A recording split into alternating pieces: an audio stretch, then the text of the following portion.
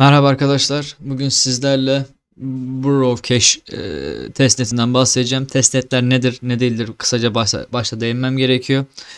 E, testnetler arkadaşlar bildiğiniz üzere hiçbir şekilde tokenle para harcamadınız, işlem yaptınız. Bu işlemleri denedikten sonra işte herhangi bir hatayla karşılaştıktan sonra bu projelerin işte Telegram gruplarına, Discord kanallarına ya da işte sitelerine ya da işte bir mail adreslerine dair ya da form doldurdunuz.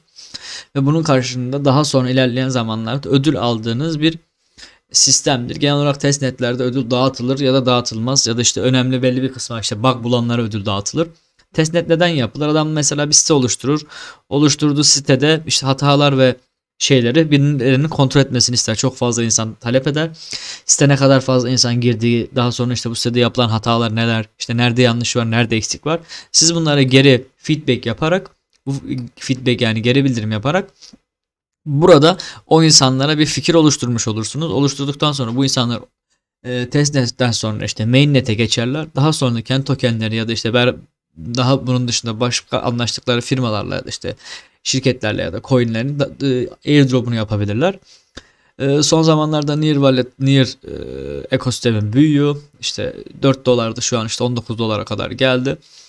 Siteye girdikten sonra ben linkini aşağıya bırakacağım. Zaten hemen bir e-postamızı oluşturuyoruz. E-posta ile giriş yapıyoruz. Ya da isterseniz işte kelimeler veriyor testnet ağına. Sonra bize 200 tane Near tokenden veriyor. Bunlar gerçek değil arkadaşlar. Bunu çekemiyoruz. Bazı arkadaşlar soruyor testnet ağında işlem yapıyoruz. Çekemiyoruz. Neyse bir de bu tarz testnet videolarında airdrop kazanmak istiyorsanız işte Abra'dan 25 dolar kazanmak işte Coinbase'den 300-400 TL para kazanmak istiyorsanız diğer videolarımı izleyebilirsiniz. Aynı zamanda da videoları beğenirseniz çok mutlu olurum. Çünkü videolarım ne kadar fazla insan beğenirse o kadar çok insanın karşısına çıkıyor. Yani abone olmak isterseniz olun tabi ama hani abone olmak da önemli ama ne kadar fazla insanın karşısına çıkarsa o da benim için önemli. Neyse Buraya geçelim arkadaşlar. Cüzdanımızı oluşturuyoruz. Ben linkini bırakacağım zaten çok kolay bir şekilde. Daha sonra birkaç işlem yapacağız sizlerle birlikte. Bu Rovcache sitesine gireceğiz. Burada testnet ağından diyor. Mesela ben bir logout diyeceğim. Böyle karşımda bir cüzdan var. Connect Wallet diyeceğim. İşte kendine gelecek. Bu arada bu işlemleri yaparken kendiniz tabii ki de deneyin. Nerede bizim cüzdanımız? Şöyle bir testnet Browcache sitesine girelim. Connect Wallet diyelim.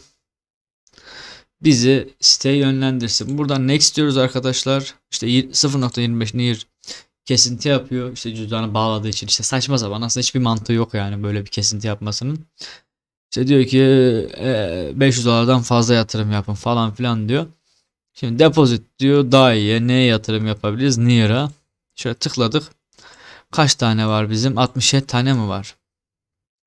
Mesela 100 tanesi ne yapıyor? Ya da işte şöyle yapalım. 50 tane. 50 çarpı 20 çok yaptı. Şöyle 35 yapalım abi. Bu şekilde yaptık. Ondan sonra işlemimizin onaylanmasını bekliyoruz. Böyle Metamask gibi çalışmıyor arkadaşlar. Burası site üzerinden işlemler yapıyoruz. Ee, bu şekilde işlemimizi sağlayacağız. Bekliyoruz gerçekleşmesini. 35 tane Near kitledik yani 708 dolar gibi bir limit. Daha sonra bu işlemin gerçekleşmesini bekliyoruz. Ondan sonra acaba borrow kısmı var. Ondan sonra acaba ne satın alalım borrow'la? İşte USDC satın alalım. Ama alamıyoruz sanırım. Şöyle biraz daha kur, kur, kurcalayalım. Adjust butonu var. Hani biraz da ekleme yapıyoruz. Buradan hani bütün tuşları deniyoruz burada arkadaşlar. Olay bu. Ondan sonra acıma tekrar beni o siteye yönlendirmesini bekliyorum. İşlemim gerçekleşmesini bekliyorum. Bu işlemleri yapıyoruz. Bunlar testnetler bize burada hem siteyi denememizi hem de ekosistemi anlamamızı sağlıyor. Aynı zamanda da ne kadar fazla iş yaparsak burada e, olayları nasıl çözümlendiğini anlıyoruz arkadaşlar. Öyle düşünün. Dayı da alamıyoruz. Nasıl alacağız bilmiyorum. Şimdi şöyle yapalım. Ya borç alalım şöyle. Dangerous diyor. Neyse bu kadar alalım. Bir tane alalım abi. Gönlü olsun. Şimdi bu işlemde tamamlıyoruz. Ondan sonra acımı. Hepsini böyle teker teker deniyoruz arkadaşlar. Kurcalıyoruz yani. Mevzu bu buradaki. Daha sonra işte böyle burada portfolyoya giriyoruz. Ondan sonra acıma borç aldığımızda bir tane işte burada faizi var işte almışız. Buradan withdraw diyoruz. Ondan sonra acıma işte iki tanesini withdraw ediyoruz falan filan. Bunu da yaptık. Bekliyoruz. O 20 dolar olmuş bir Near. Valla ben Near iyi yani. Ben aldım kaç dolardı ya? Düşüktü 6 dolar falandı. İyi yükseldi ama fazla almamıştım zaten. Keşke fazla alsaydım. Böyle ekosistemler arkadaşlar değer kazanıyor artık. Ethereum falan filan artık yeterince şişti. Yani e- ekosistemin çok daha büyümesi lazım ki.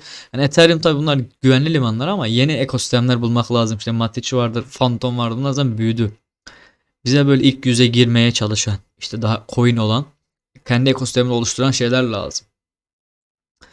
Ondan sonra acaba depozit falan yapamıyoruz zaten. Bu, burası böyle bir yer. Hem borrow hem lending var. Yani burada sen diyor en az diyor 500 dolar yatırabilirsiniz diyor. Biz biraz daha yatıralım.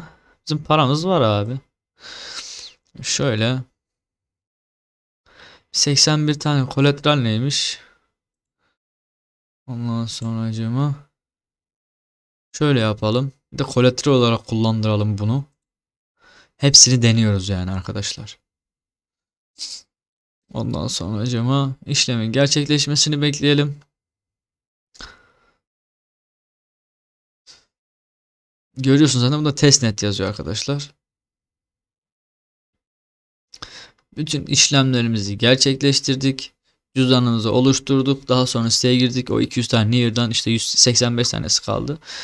Benim için bir anlam ifade etmiyor. Hatta ben bunları şöyle şöyle yapayım. Şöyle.